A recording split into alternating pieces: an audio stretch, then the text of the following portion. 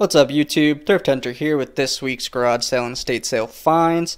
I haven't made a video in a while. I'm gonna test this one out. Um, I shot this video already, but the video uh, audio was not uh, working with me, so I'm gonna try again. I'm trying to show you guys what I found. I'm just gonna kind of um, do this impromptu. I'm not gonna try and set up my whole uh, light booth and everything. I'm just gonna show you what I found this week. Uh, still, I'm gonna probably go to garage sales tomorrow.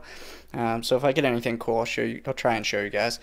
Um, so let's check out some of the cool stuff I found this week. Alright, so again, bear with me here. It's going to be a little shaky. I'm testing out a bunch of new equipment.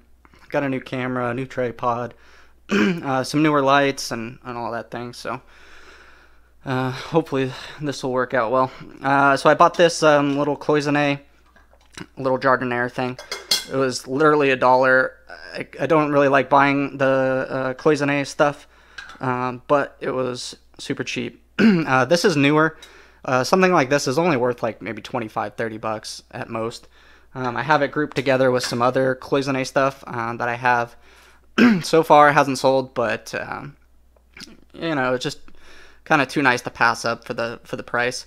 Uh, you'll see this stuff priced all the time super high, so if it's like 75 bucks or something, don't buy it unless it's I don't know really old and really nice, because usually those things are kind of tough to sell. Um, I did buy some little opera uh, opera glasses. Um, I don't really like to buy these either, but it's the the mother of pearl ones, um, and it's signed and everything like that, and they're in good condition, so I I bought them. Why not? Um, I did buy a couple of vintage glasses. Um, these ones have like a crazy strong prescription. I don't know if you can see that. Look at that. Um, but these were like eight bucks or something. I don't really like buying glasses, but they're gold filled and they're nice. So I think um, I already looked them up. They're worth like 30, 40 bucks. So people buy them. Um, I bought three pairs in total. Here's another nice pair. Um, I bought three pairs in total. Um, one of them might be sold already. So um, it's good news there. Um, this little thing, it's marked on the inside here, sterling. Um, it's real heavy. I don't know if it was a ring or if it was a pendant or what, um, but it's 18 grams. It's actually like super heavy. Um, that was like a dollar, so I picked that up. Um, today for two dollars, some uh, little earrings with the I don't know sodalite or something, but they're not marked anything, so that's why they probably missed them. but they are sterling. Uh, so there's an old pin. You guys know I like buying old pins. Let me zoom in a little bit. This thing doesn't do the best macro, and the um, autofocus is a little slow. But you can kind of, you can't really see. Uh, focus thing. Focus, please? Please focus? Nah.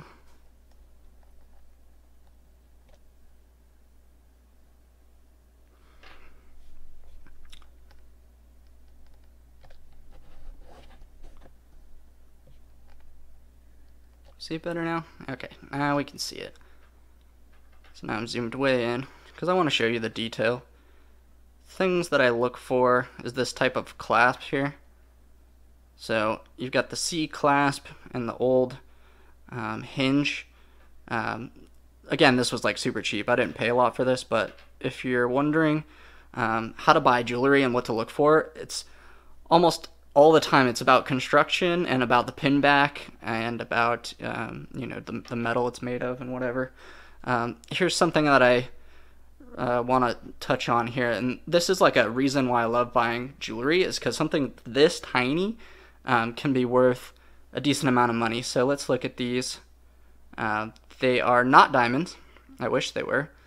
But can you, can you guys see? So it's silver on the the mounting here, and then it's uh, actually 18 karat gold on the, the lever back. So it's got a little tiny eagle hallmark right there. Um, that is French for uh, 18 karat gold. So this is something that I found the very bottom of like you know a bunch of junk earrings and whatever. And if you find these at an estate sale or garage sale or something, like no one's gonna know that this they're not even gonna see this mark. Guy just looks at it, it's like, oh, give me a dollar or whatever. So, um, but these are actually French paste. Uh, so these are rose cut glass. Uh, you see the the shape on the stone, kind of. If I move my hand away. Um, so those are actually worth like I don't know, 75 bucks, maybe 100 bucks. Look up French Paste 18 karat gold. Like they're going to be a lot of money. So um, really nice quality, and it's just tiny. I mean, it's like the size of a quarter. Um, so that's really what I love about jewelry. If you guys aren't buying jewelry, you should be buying jewelry. Uh, just because something the size of the quarter can be worth a hundred dollars, and like it's just easy. So I'm really happy about those. I, I know they'll sell because they've just got that look. They're hand they're hand cut stones, um, and they're really high quality. So um, and they're from like the 1800s, and they're like French and like whatever crazy stuff that pretty much no one knows about. No one's ever gonna know what what those are unless they're ju- like jewelry people. But um, just wanted to share that with you guys. Really cool thing. Um, here is a you know Sheaffer um, gold filled pen, uh, five bucks. Buy these all day long. I've been buying these things for years at five bucks. They're always, always, always five bucks. Don't ever pay more than five bucks. Five bucks is what they price them at. That's just how it is. Um, here's a really nice piece that I'm uh, really happy with. Uh, this is a Lisner piece, so let me grab the the earrings. So matching earrings. The necklace isn't marked, um, but the earrings are, so I know for sure that this is um, also Lisner.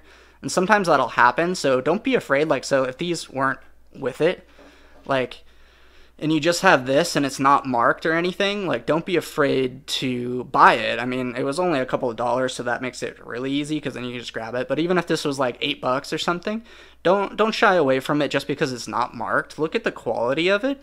It's got a really nice um, little like rhinestone ball on the end and it's got a good color. There's none of the stones are missing, right? So um, just just things to to remember um, that it doesn't have to be signed to be a designer piece necessarily. You have to look at the construction. How nice is it? Is someone gonna buy it? Like someone's gonna buy this.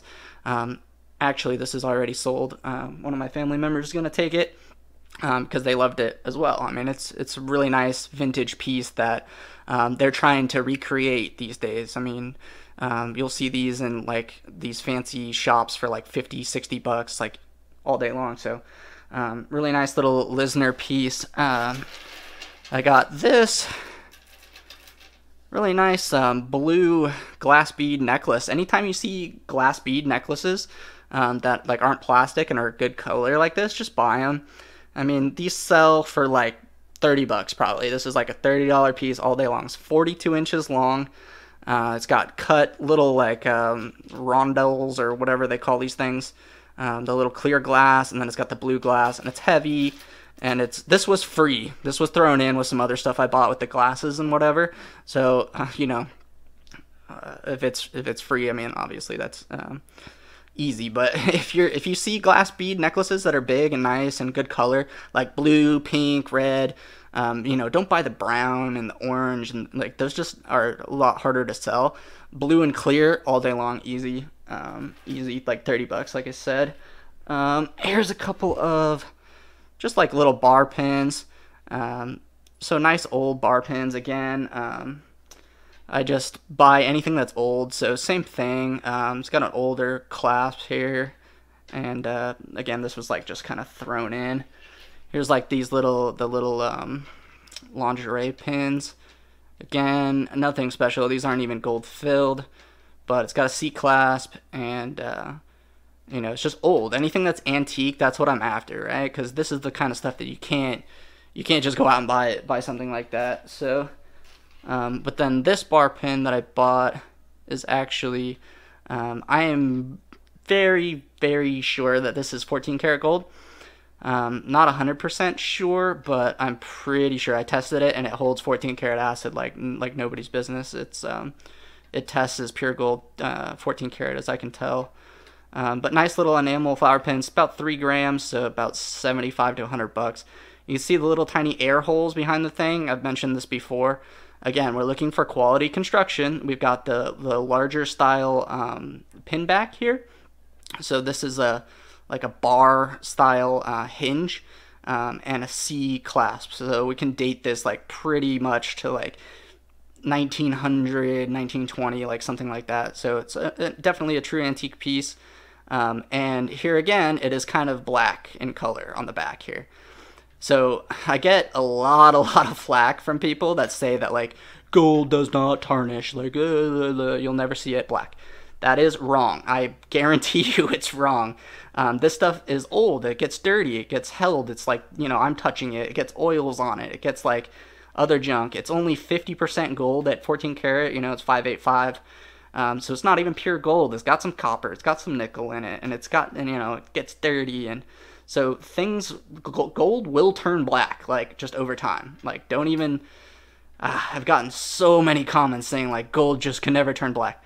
I guarantee you, you will find gold that turns black. Like, um, this is actually what I'm looking for because it shows signs of actual age and use. Like, somebody wore this every day for like 40 years with perfumes and oils and all this stuff. Like, it'll get dirty. Um, so, yeah. Uh, not saying the gold gold itself is tarnishing. It's not tarnishing, but um, it does have a black appearance. So, um, be on the lookout for that kind of stuff. Alright, so here's um, probably the best find um, this week. Maybe not. I mean, I've got some other stuff that's cool that I'll show you, but um, this was something that I saw at an estate sale for, I think, $10 and just grabbed it like right away. First thing I grabbed, and I knew easy that this is over a $100. Um, this is what's called like a Daguerreotype. I guess that's how you say it. Uh, basically, it's an old picture book, um, and these are made out of thermoplastic and most of the time they get broken, they get chipped. Um, this one does have like a little bit of like edge damage um, to it, um, but overall it's in really good condition. Um, usually when you see these, so first of all, this the size, so it's a little bit bigger of a size. Um, I think this would be like a sixth plate or something. They have like plate names for how big the pictures are. Uh, it might be a ninth plate. I don't really know this stuff that well, but um, anything with this thermoplastic thing, first of all, is like a plain designed one, just the case without even a picture, is probably worth like 40 to 50 bucks, just plain, like without this scenery on it. Um, just having this uh, nice scenery on the outside, like it's got a horse and this guy's got a gun and like kind of depicts the times that the picture was taken, um, that makes it worth more. So just having the design on just the case is like hundred dollars, and then if it has an interesting picture, it's worth more than that. Um, I buy these things anytime I've ever seen them, um, except for one time, long time ago, there was an estate sale that had like maybe 20 of these, and I think I bought like one or two, and I did really well on them, but some lady bought like all of them um, because she knew right away what they were. I didn't really know this stuff that well um, at the time, and now I know from that experience pretty much. But I'll go ahead and show you the, the picture. Um, so this is like a mom and her four daughters, so it's cool. It's an older picture. It's got like the the things that we're looking for in the pictures themselves is like things that are like indicative of the time. So something like if we're uncovering some new information that we didn't know about like the past. So it'd be like someone's got a crazy haircut or like someone's got like um a really nice piece of jewelry that like has a fancy design that you know maybe someone hasn't seen before or something like that. Um, as far as this one goes, I would say it's nothing special as far as the the picture itself. I mean, it is an antique picture, so it has like a little bit of value, but really um, nothing exciting. I would think about this. Like I could be completely wrong. Um, maybe it's the best one ever, but I don't think so. Usually anything with like a soldier, anything with like a guitar or like some kind of weird like a po- the po- post-mortem ones like there's a werewolf one dracula ones like you know sideshow kind of stuff is like more interesting. Um, it's got a nice you know little velvet liner and and sometimes behind the um, picture you'll have the artist who took the picture and you'll have like uh, a date and maybe a description of who it's a picture of. Um, but this one's like sealed so i don't want to take it out of this case um, but if it was falling apart i would because sometimes he's like a lot of times he's cracking half and whatever so like here's a plain side like more plain side um, plain sided one got some junk on it uh, so if you found one that just looked like this it'd be like 50 bucks just automatically just for the case um, but since it's got this fancy design on the other side, I think it's going to be worth right around 100, like 125, like if I want to sit on it for a while. So that was a cool piece. Um, what else did I get? Pearl pearl necklace, um, 14 karat clasp. Paid like maybe three or four bucks for these. Um, really not really a fan of buying these most of the time. Honestly, I just rip the clasp off and sell the gold um, because these cultured pearl things are pretty much worthless. Um, you if you want to sit on it, you could probably get 30 bucks for it. Um, people think like, oh, but it's you know pearls, but like I've done my spiel on pearls I think 100 times now. Like 99.9% of pearls on the world are cu- cultured. And um, anything at this size like this is like a 7 millimeter size or 8 millimeter size is literally made by the millions. Like these are not um, like some kind of rarity or anything like that so it doesn't really have a lot of value. It looks very nice. They are like i would consider genuine pearls but um, just in the real world they don't have a lot of value because there's there's just a lot of them out there in the market um, i'll show you this uh, a little uh, Orrefors um, piece here, 25 bucks. Uh, little owl paperweight thing. So this weighs like five pounds. It's super, super, super heavy. You can kind of see the signature through the back there. Um, so I'm not even gonna try. Honestly, you can see it through the back. So it's got like this really long writing. It's got the artist name. It's got a date. It's from like the 70s. It's, it's an expo piece. Um, it's you know whatever. For 25 bucks, it's signed, it's dated, it's got everything that you need. So for 25 bucks, you know you could. Um, I would look this up on eBay, and it was like someone had a listing for like 285 dollars or something.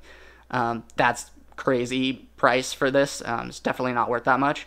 Um, but I, I saw an auction that one sold for 40 euro, so I think 50, 60 bucks plus shipping is very reasonable for this. Um, so that's why I bought it for 25. They had a bunch of Waterford and Baccarat and all this stuff, but that was overpriced that I wouldn't touch with a 10 foot pole. Um, but the Orrefors got a good collector base. Um, it's got a name attached to it, so it's got searchability. Um, it's a heavy, so you know it's quality. It doesn't have chips, doesn't have scratches. So 25 bucks, um, I will buy it. Hate buying glass, but in this case, I will buy it. Um, let's see. I've got some uh, random jewelry. I don't even remember what's in here. Let's take a look. I'll show you guys. I'll dump it out if I can do it one-handed. go. Um, what is this stuff? Oh, I was looking for that. Whoops. Um, this was. I bought this piece. I know. So this is sterling. This was at a little junky garage sale with literally nothing there, but sterling silver with a little, you know, glass link thing. It's it's nice. Um, that was a dollar. Hold on, I think they said 50 cents, and I was like, here's a dollar. I'm just gonna go now. Um, and then I bought this, which is like a red jasper, and it's gold filled. Got these nice little gold filled links. Again, a dollar or two. Um, and the rest of this stuff is just some old stuff. Like, see the pearl things. I just rip the gold off of them and leave them. And then there's some other silver stuff. So there's that. And then here's some other junk I bought recently. This is kind of, I think I bought just some um, junk jewelry grab bags. I'll show you. Um, so here's a cool like big lion pin. Uh, nothing special, but nice. You know, someone will buy it. Um, this was like an older you know, painted eagle pin. So if this was like um, marked something, like if this was Coro patent pending or something like that, it'd be worth a decent amount. Um, but like this, not worth much, but neat. Um, some other random junk. This was in there. This is a sterling thistle brooch. I do like buying these, but this one is missing the pin stem, which is why it was in the junk pile. Um, but still, nice piece of sterling. I didn't pay much for it.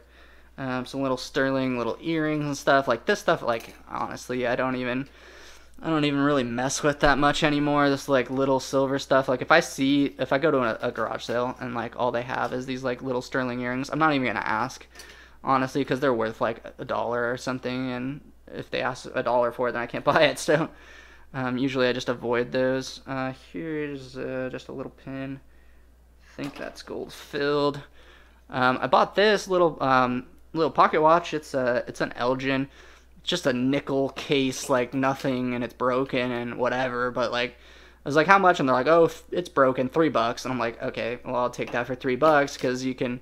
Um, a lot of people steampunk this stuff and whatever. Some people fix them and or need pieces off of it. So I could still get like 20, 25 bucks just for that busted up, broken thing. Little pieces of, I think, fake, fake jade stuff. Um, but there's that, and there's like a little watch in there and whatever. So I'm just some junk and some other, you know, jewelry stuff. My usual. Alright, so I also got this uh, little bonsai pot. Um, something that I've kind of gotten interested in lately. Um, I've been doing a lot of gardening since the last video I made, so which was probably a long time ago. Um, but I've been doing a bunch of gardening, and I've been doing a little bit of um, watching bonsai people on YouTube. Uh, so I kind of wanted to get into it, and I didn't have uh, I had some pots. I mean, you can do it in any pot really, but um, to make them look really nice, you have like these these special um, bonsai pots. You're not supposed to put them in these first. You're supposed to grow them in something else, then trim them down and whatever. But um, these things are really expensive and really hard to find. So I was really happy when I found this. Um, this is a special clay. It's like a high fired clay. It's got special drainage holes in it. Um, you can tell that this one's pretty old. Uh, it does have a, a maker stamp on the bottom. It's got really nice feet. Um, it's just perfect size. Paid two whole dollars for this.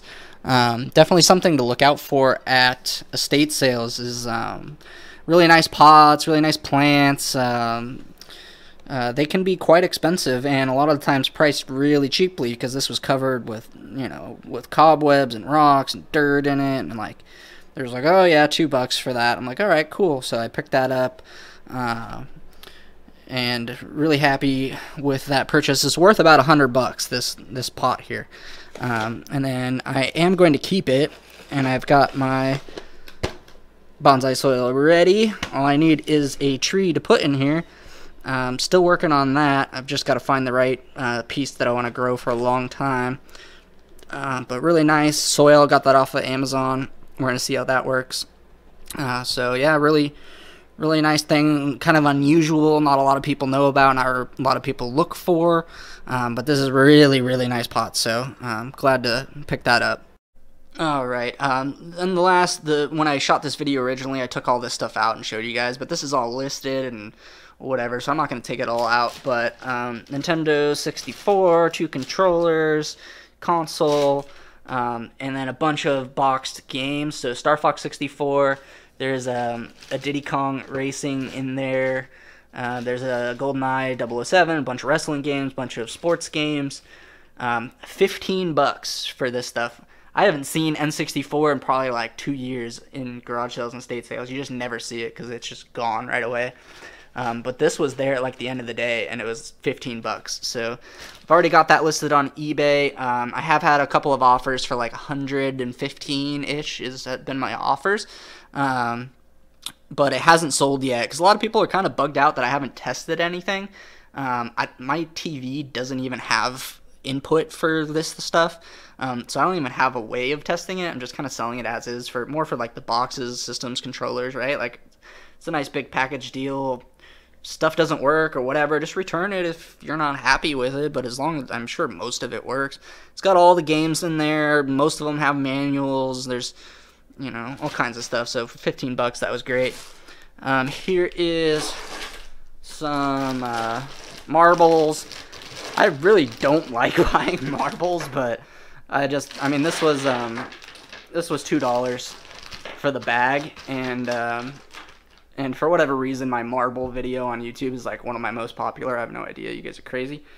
But uh, these were all in really good condition. I like the condition. And I know to look for the little, you know, swirly, like the little bumblebee and the little, like, you know, there, there's definitely some, some nice marbles in here. Um, you guys will see, like, you know, and my main thing was the condition. So usually when I see these, they're all, like, chipped up and whatever. Um, but these were not. Like, you got some of the solid reds. There's like a metal. I guess it's like the shooter ball or something. I don't know. Um, there's some bigger ones with some nice swirls in them. Um, yeah, definitely some good quality marbles. Not really my specialty. Um, but you know, if it's a good deal, I'm gonna I have to buy it. Like it's almost like I can't not buy it.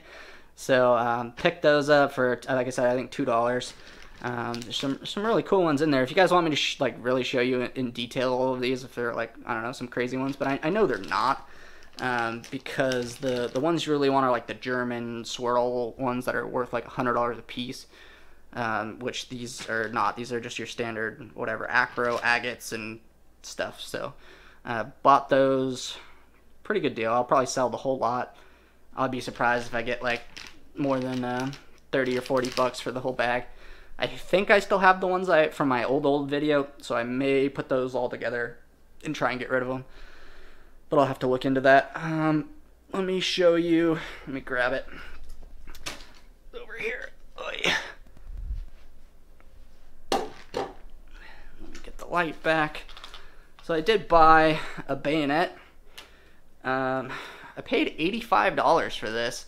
Uh, it was not that great of a deal, apparently. Um, these only go for like 50 to 150, kind of depending on the condition and stuff. This one does have the, the scabbard and uh, is in pretty good condition. It is dated 1875. Um, this is called like a French Gras sword, uh, or Gras um, bayonet. And uh, it's big, heavy. It's got signs and stamps and all kinds of stuff. It's nice. I never see bayonets ever, so when I saw one and it was priced kind of reasonably, I bought it. Um, but it is going to be a pain to ship, and I probably won't make much money on it, but I'll enjoy it while it's here. Um, so that was pretty cool. Um, what else do I have? There goes my light again. I'm going to show you this. Um, so I bought this thing an estate sale, and I thought it was neat. Um, it's a big uh, golf trophy. So uh, bought this this golf trophy because I think it may be sterling silver. Still not 100% sure. But so first of all, the weight is right. Like it's it's it's a really light piece, um, and it is marked. So we are gonna hope this focuses, which it probably won't. But right there in this corner, maybe, maybe, bring the light over. It's making it worse. Anyway, there's little characters there, and then there is little characters, so let me see. There's also little characters right there. And I just know from my experience with silver that whenever you see like um this is where they mark typically mark silver is like right here at the base. And um sorry i'm trying to get to focus. It's got the right sound to it um, it's got the right weight. Uh, i took it apart and tested it. And uh, it tested silver for me. I'm gonna retest this again and do it really deep. I tested it up uh, up here on one of the corners, and it tested as silver, and it sounds like silver. I mean, it's uh, it's really nice, but why would you make it out of sterling as a, for a golf trophy? I don't know. Um, but it's got like all kinds of markings, and it's got like a letter from the the golf club, and it's got like a little congratulations, you're the victor kind of thing. So I paid twenty dollars for it it's got this nice case, it's everything, but um, so far no one's really biting on the uh, the bids. Like no one's really interested in it, so it makes me think maybe it's silver plated, and that's like really the only reason that I could find that it would be. Um, but to me, it's got the right design. So if you know anything about, um, and it's from Hiroshima, Japan. Uh, so if you know what those if those characters say silver, they say silver plated. Let me know if you can even see them with my uh, terrible camera. Uh, but really nice um, presentation box and everything. We'll see if I can sell it. Think I've got it up for like $200 and uh, I don't know, n- not really any interest. So um, we'll we'll keep you posted on that. So yeah, that's um that's kind of gonna be my video for today. I just wanted to show you guys what I found because I did find a couple of cool things. Um, you know, I I've been going to a lot of sales. I went to like seven or eight estate sales today, and they were just overpriced. Like anyone that had good stuff was way, way, way, way overpriced. Um, so you know, I wasn't really buying much. I've been trying, but silver like fifteen dollars an ounce is the price of silver. You cannot price your jewelry over the price of the price of silver because it's most of it's just common stuff like chains and bracelets and stuff. I see so many like Figaro bracelets at like thirty dollars and stuff that are small and like rope bracelets at like twenty five dollars. Like you cannot price your silver that high anymore because the stuff's just not worth it anymore. It was worth that at one point, but it's just not anymore. So been having a tough time buying silver, but the costume stuff still no one cares about, no one knows about for the most part. Um, you can find good costumes still, so I've been buying a lot of that. Um, so please, you know, uh, leave me a comment, like, subscribe. Thank you guys for watching.